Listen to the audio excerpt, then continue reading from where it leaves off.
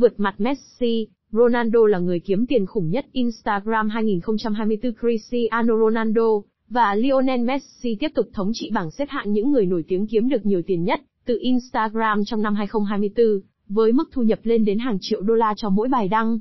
Cristiano Ronaldo và Lionel Messi tiếp tục thống trị bảng xếp hạng những người nổi tiếng kiếm được nhiều tiền nhất từ Instagram trong năm 2024, với mức thu nhập lên đến hàng triệu đô la cho mỗi bài đăng.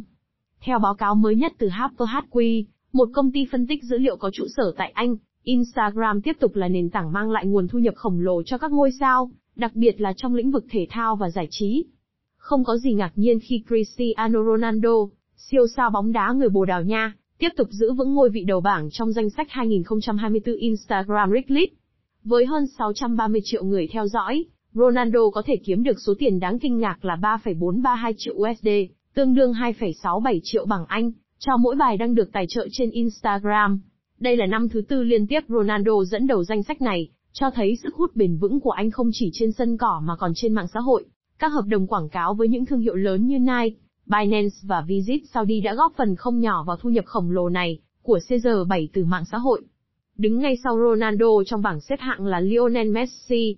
Với 504 triệu người theo dõi, ngôi sao người Argentina có thể kiếm được 2,731 triệu USD, khoảng 2,12 triệu bằng Anh cho mỗi bài đăng được tài trợ.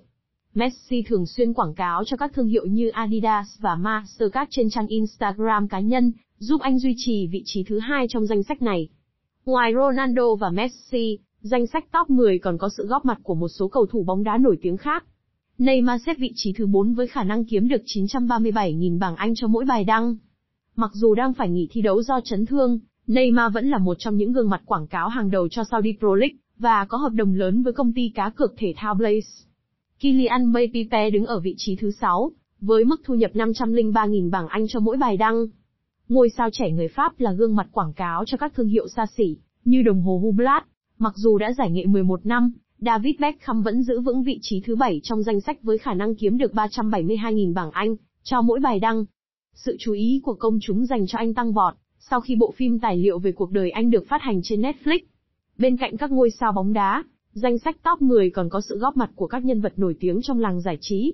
Selena Gomez đứng ở vị trí thứ ba với khả năng kiếm được 2,56 triệu USD cho mỗi bài đăng. Kylie Jenner xếp thứ 4 với mức thu nhập 2,395 triệu USD mỗi bài đăng. Dwayne The Rock Johnson là diễn viên duy nhất trong top 10, The Rock có thể kiếm được hàng triệu đô la cho mỗi lần đăng bài quảng cáo trên Instagram. Đáng chú ý, danh sách năm nay cũng ghi nhận sự hiện diện của một số ngôi sao châu Á. Virat Kohli, vận động viên cricket nổi tiếng người Ấn Độ xếp ở vị trí thứ 14. Lisa, thành viên nhóm nhạc BLACKPINK đứng ở vị trí 29. Jenny Kim, một thành viên khác của BLACKPINK, xếp ở vị trí 36. Harper HQ cũng chỉ ra ba tài khoản Instagram có tốc độ tăng trưởng nhanh nhất trong năm 2024, cầu thủ Tony Kroos, ca nhạc sĩ Olivia Rodrigo và ca sĩ Sabrina Carpenter. Ngược lại, một số tài khoản lại có dấu hiệu giảm sút về số lượng người theo dõi, bao gồm người mẫu Gigi Hadid, diễn viên Tom Holland và diễn viên Dove Cameron. Danh sách 2024 Instagram Recklist không chỉ phản ánh sức ảnh hưởng to lớn của các ngôi sao trên mạng xã hội, mà còn cho thấy tiềm năng kinh tế đáng kể của nền tảng Instagram.